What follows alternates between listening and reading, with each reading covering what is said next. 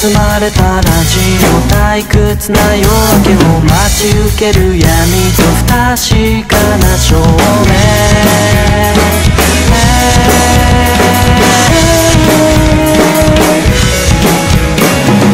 人当て調された囚人のようだ。辺りに散らばる釣りの愛。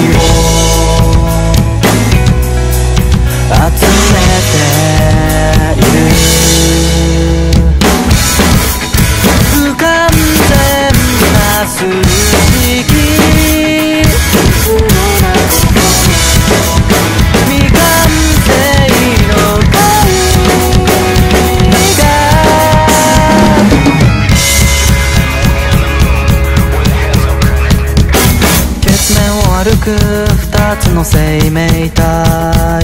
奪おうとしてるカーテンゴールと希望。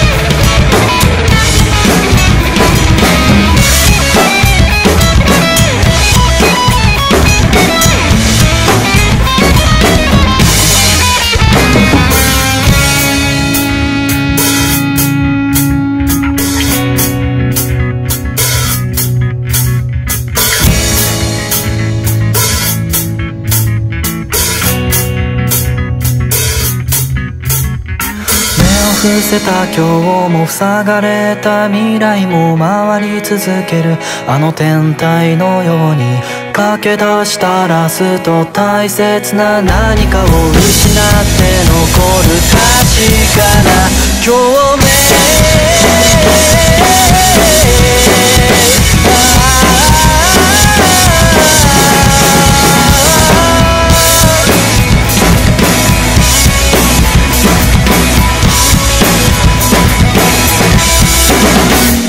suka 考え